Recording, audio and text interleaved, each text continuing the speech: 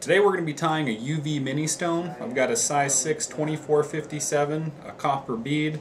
Adjust the size of the bead to the fly that you're tying. Um, probably tie these down to about a size 10. I'm going to make a thread wrap base of black 6-aught uni thread all the way down just past the barb. I've got some pre-cut pieces here of LifeFlex. the spandex leg material. It is the one rubber leg product that will really last for an extended period of time without degrading. So I'm going to tie in a tail at the rear of the hook.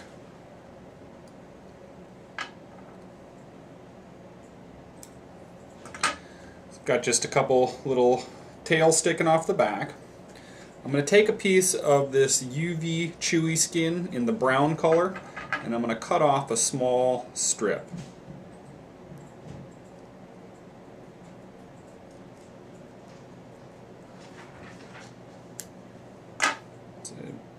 probably about a sixteenth of an inch, maybe an eighth of an inch.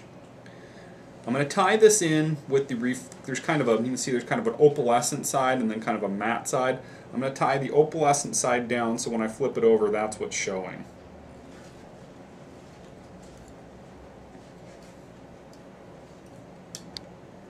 I'm going to use this as the, the abdomen piece. So I'm just going to uh, wrap it, kind of one wrap on top of the last one, uh, a little bit to create some really nice segmentation.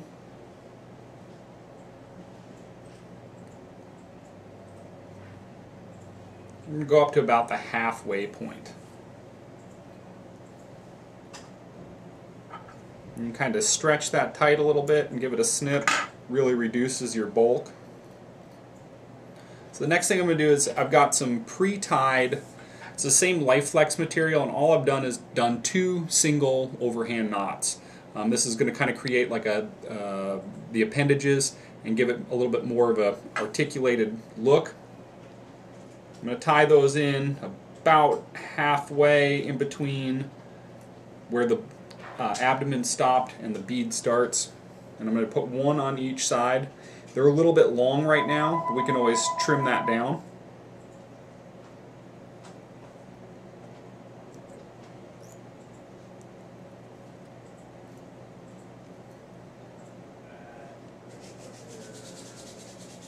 So I'm going to bring my thread back to kind of where, where the, the thorax, excuse me, the thorax starts, abdomen finishes. And I'm going to use some of this Golden Stone SLF. I'm going to pull out a small pinch uh, and put this into a dubbing loop. So if you've got a whirligig tool that you like using, you know, go ahead and do that accordingly. I'm using that Petitjean bobbin again. I'm just going to kind of turn turn my vise off to the side so that when I spin this, this is going to going to work. I got enough clearance then. Leave it nice and buggy. Just kind of take those legs and get them out of the way.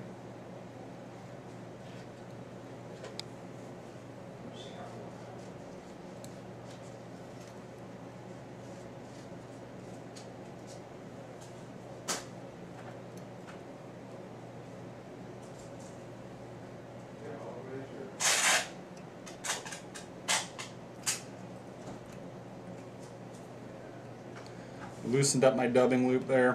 I'm just going to try to peel that loop off just a bit.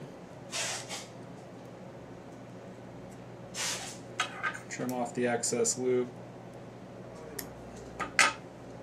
So now with that same piece that I used for the thorax, I'm just, this is the excess there, I'm just going to take it, uh, clip it kind of like on the UV Chewee stone we've done before, give it just a little bit of a wing case. That out, you know, you can see that I've got like just a little bit of a dovetail in there. I'm going to lay that across the top, over those arms, over that dubbing.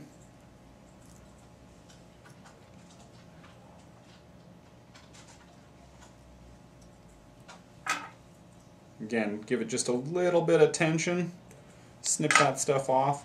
To finish it off, give it a nice clean look, I'm just going to take a little tiny bit more of that SLF.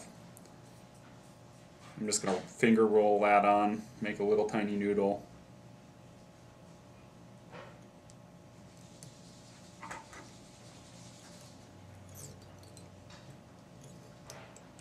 Whip finish up behind the bead. I'll pull maybe a little bit of that excess material off. It's pretty pretty buggy in there. Um, last thing we'll do is we'll just kind of snip those legs down so that they're proportionate.